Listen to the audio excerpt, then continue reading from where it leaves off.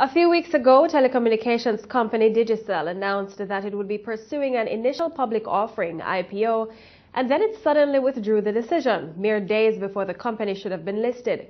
Speaking in Jamaica last week, chairman of the Digicel Group, Denis O'Brien, said after weeks of meeting with investors and analyzing the market at this time, going public would not have been a wise decision. As part of that process for three weeks, you get up every morning at half five, you get into a car or a bus, and you do something like between 10 and 14 presentations to investors. So you you go into buildings, you meet hedge fund managers, investment fund managers, and you tell them in 45 or 50 minutes everything about your business. So we did that. I felt like a parrot after the three weeks uh, with three other colleagues.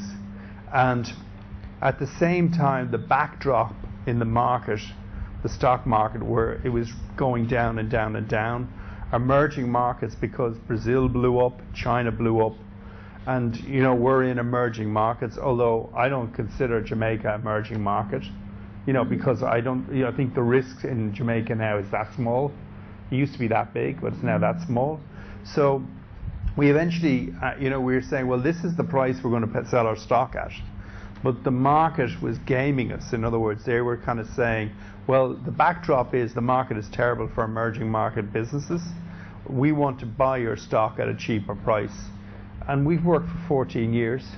We said, well, why would we sell our stock for a cheaper price than what it's intrinsically worth? And at the end of the three weeks, we made a decision to pull. Mr. O'Brien adds that though the situation was embarrassing, he and his team are happy with the decision and may pursue the IPO again.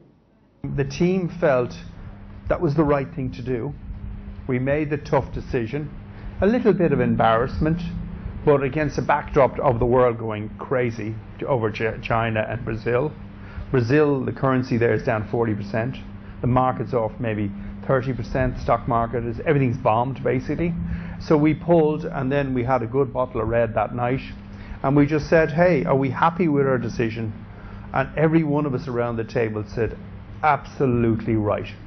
You know, we 20, 30 people here, you know, in Digicel working on it, but we made the right decision. So we're a private company now, and we may go back and do a stock market offering, or we may not.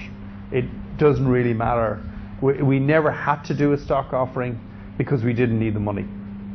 Mr. O'Brien was speaking to the students at the Mona School of Business and Management in its Reasoning Series with CEOs.